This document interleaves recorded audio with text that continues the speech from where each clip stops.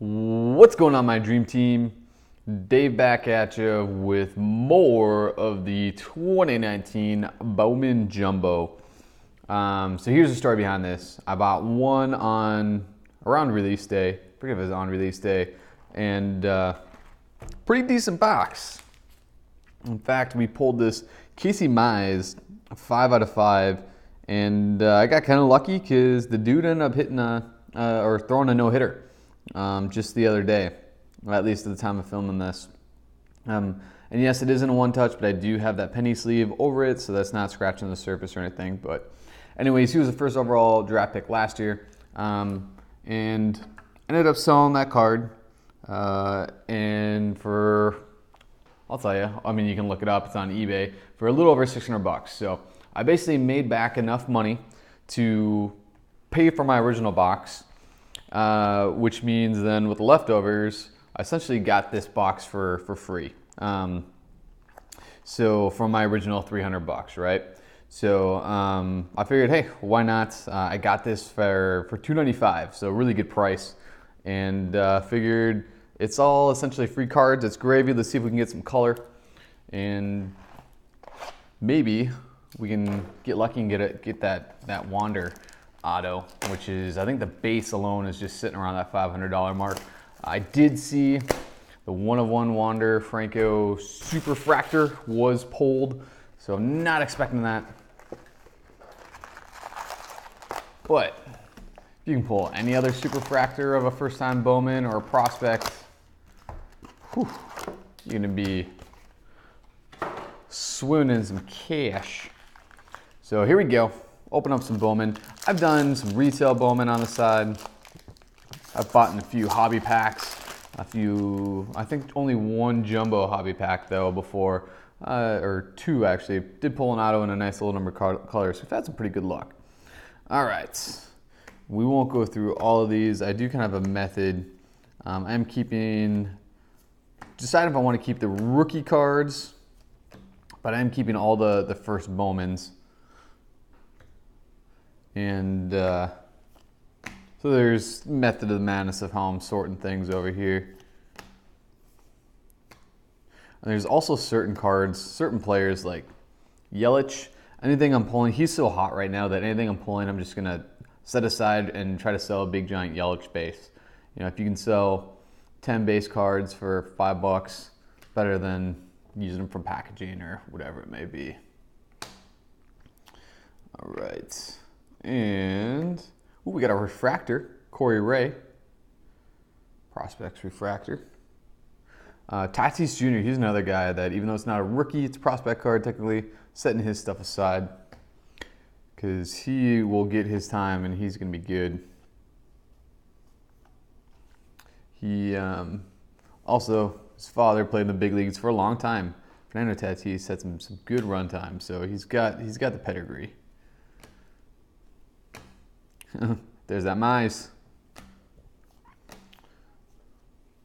As always, though, if you do see something you're interested in, hit me up. Let me know. I haven't really sold any of these. Eloys are ones I'm setting aside as well.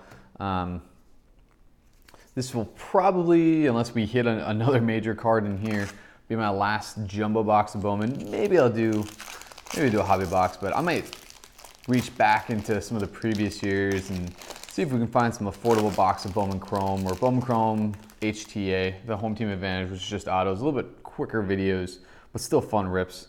Um, again, with the price of 18 football going on, uh, which I know a lot of you guys come to my channel for football, uh, but just with the price of 18 football in 19, not having guys in their in their pro unis yet, um, I think I'm going to do a little bit of a little bit of baseball to pass the time until probably about that July time frame. So you may see, you will see more you're not a fan, you don't have to watch it. I don't care. It's okay. I get it. Um, I don't watch every baseball video that's out there. We got a purple coming up. Uh, Matt Manning. Mejia. Will Smith and his purple got Nato. Not a first Bowman. That's okay though. Ryan McKenna. Uh, don't know too much about him Nice clean on-card auto though. Let me sleeve this up off camera. Make sure we're not damaging anything, but number 250. Let's check out his stats. All right, so draft in the fourth round. Had a pretty good average last year. So I'll, have to check him out later. Um, I've been starting to learn a little bit more about some of the baseball prospectus and uh, some of the, the top prospects out there. Joey Bart, he's one to be to be watching right now. His cards are. I think he's probably the second most popular player people are chasing in this year's Bowman at the moment. Even though I believe he's been injured all year from from the stuff I've been reading. McKay, I'm loading up on McKay stuff. Um, he's trying to be the you know I'd say American version of Shohei. Sounds like the Rays are going to let him focus on pitching this year. He's a really good left-handed pitcher, um, but they are going to DH him. They basically said, ah, man, don't worry about first base. Um, so you can get PSA 10s of his first Bowman Chrome for like mm, really good deal, 10 bucks, but anywhere like 12 to 15. So I'm loading up on on him. I'm going to go all in on him. Uh, Brock Burke. All right. These are probably there you go. And again, in case you missed it the, the first go around, there are Bryce Harper, Harper Philly cards. I was, before filming this video, gonna look it up and see what they're going for. Um, I know they are sought after, even though he is, I'm not saying struggling, but I think there are some Philly fans that want their money back. Um, he's actually, for the season so far, if you kind of uh, take that and expound it across the, the whole season, he's pretty much at his career career averages. Um, but he uh, he's got he's got some decent amount of strikeouts, I believe. Um, average isn't isn't great, but he does walk a lot. Um, but I think folks are probably wishing they didn't spend that much money on him because they dropped a ton of cash on him. Here's one of the Sterlings, Kris Bryant. There's the back in case you haven't seen it. I know those aren't numbered, um, but Brayu, know that was sticking. Maya, Cal Quantrill, Noelvi Marte.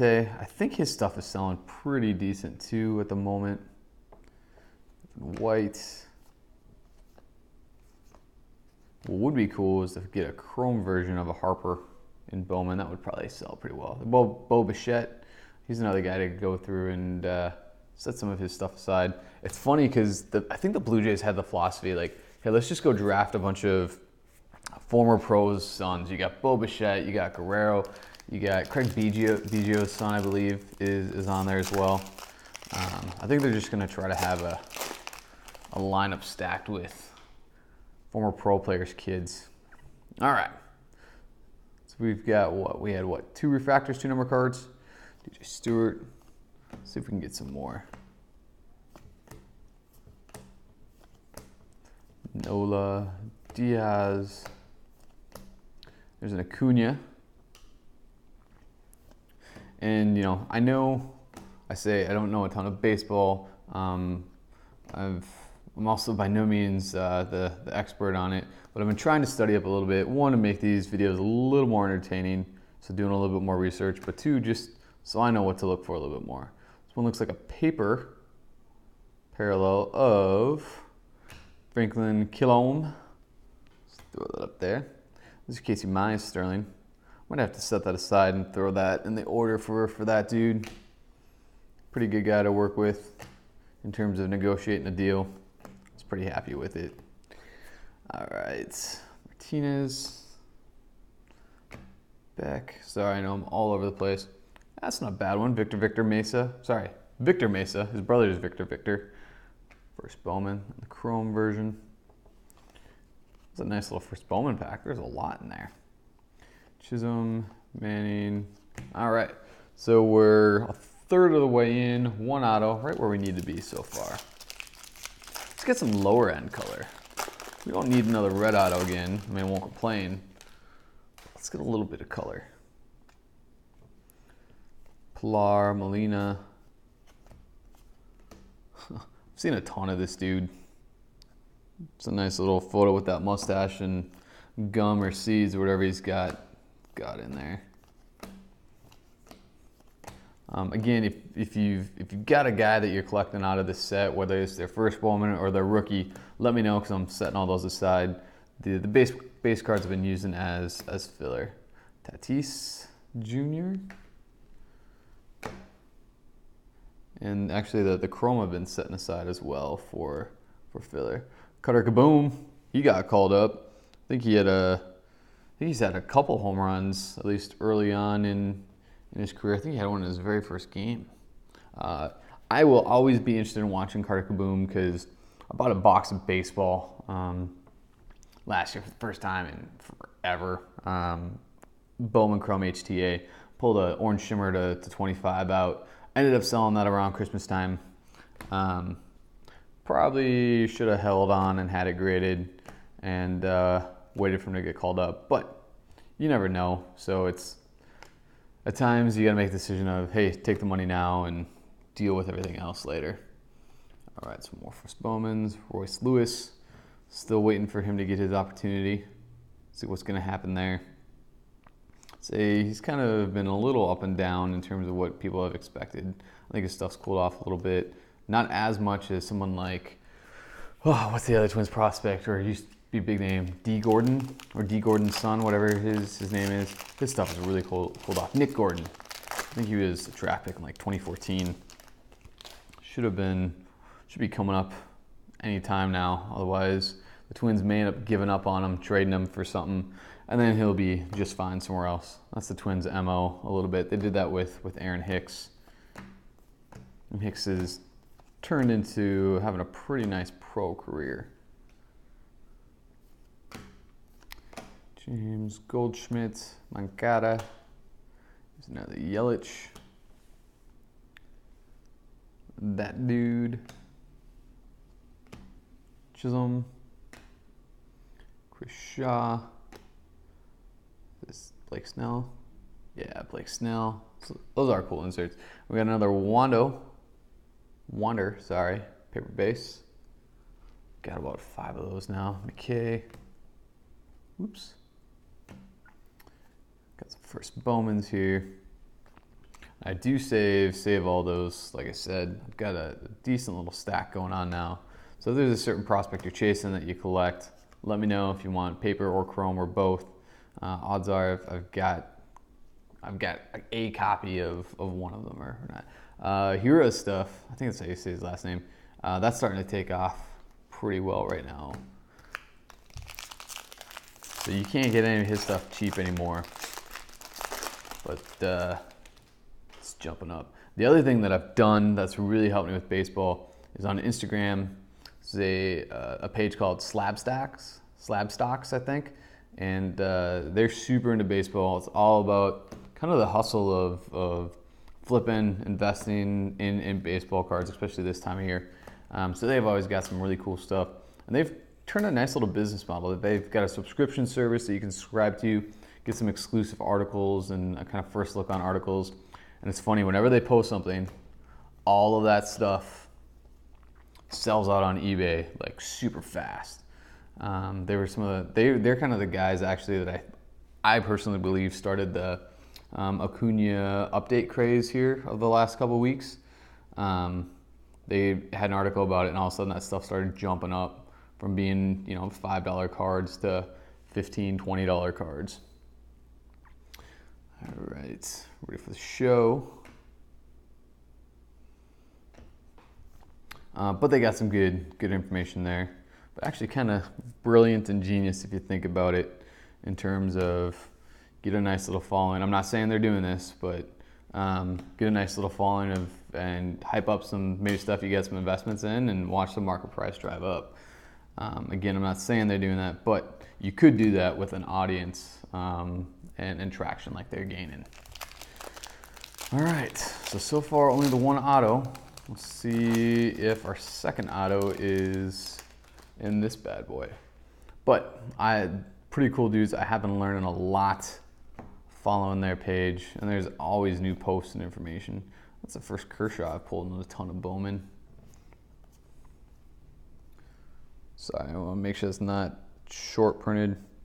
This does have the, the number codes on it like all of the, the Topps products do. Soto, Merrifield, Ward, Kramer, Newman, the big dude. I just call him the big dude because he's for the Twins and I can't, I can never say his name. Chris Paddack, he's another guy. This dude, I've been hearing, not, not even on the internet, but actually fantasy sports, things like that, dynasty leagues, because I listen to the fantasy channel and stuff. Um, he's getting talked up, and not only could he be rookie of the year potentially next year, they're talking about, but they're talking about potentially winning the Cy Young first year out. Um, so go go snag up some Paddack stuff too if you can. Hira, ooh, looks like we got a blue coming up. Let's see, blue was number two. Was that 499? First Bowman. Oh, it's not Franco, is it? No, but uh, is a Devil Ray. Or sorry, they're the Rays now. Uh, Orlando Hernandez. So as always, let's sleeve this bad boy up and see what the back has to say. With all this Bowman stuff, um, usually I get my sleeves and then I, I, cut a little slit here so you can slide it in without damaging the corners. And uh-oh, Sunday was laying next to me, woke up, but all right. So he's been around for a little while. I signed him back in 2014. Um, pretty good power uh, for especially for for a catcher. Um, I'll have to check and see. Um, I'll have to check and see where he's at, what level he's at right now, but not too shabby. Got a couple nice color autos and a first Bowman, um, and they're both position players. I only mention that because unless you get super lucky with that, most pitchers just don't hold good long-term value. Hitters is where it's at.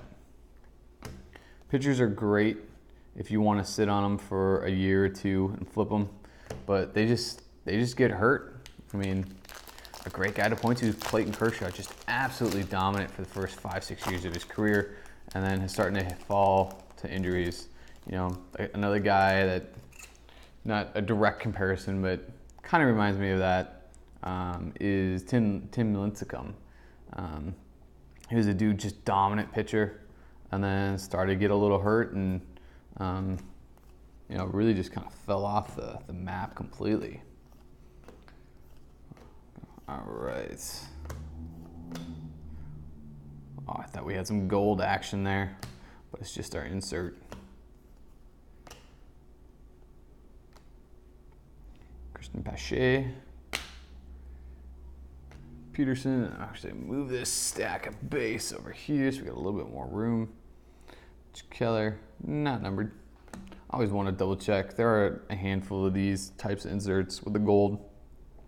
I just always double check because I'm not familiar enough with the product and I don't want to accidentally go over anything.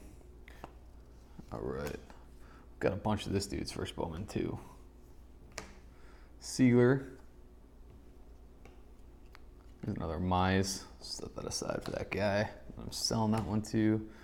Daz Cameron. All right. Cool.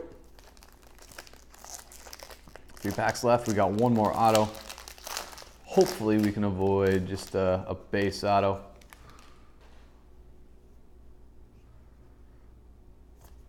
But again, shoot for a position player over a pitcher. Merrifield, Ward, Kramer, Newman. I feel like I've had that combo of cards here a ton. Robles. Ooh, we got some gold action. First Bowman. Do we got ink? Do we got ink? we don't have ink. That would have been a huge ink card right there. Um, skip right over that, that Torres, but there we go. Franco, first Bowman to 75. Beauty. Um, This is going to be very uneducated, uh, but I'm going to assume this card probably paid for our box. Sleeving that up carefully, make sure I'm not damaging any corners. The other nice thing actually with these non-auto versions is they don't hand sign them, throw them back in a container or anything, so you probably don't have to worry too much about, about damage, but that is a nice, nice card. Beauty. And we still got an auto. It's gonna turn out to be a pretty solid box.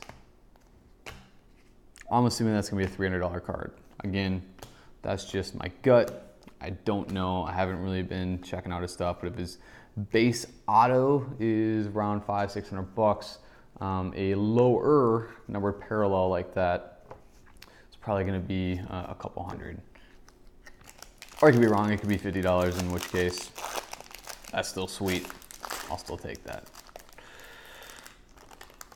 All right. Should get an auto on one of these.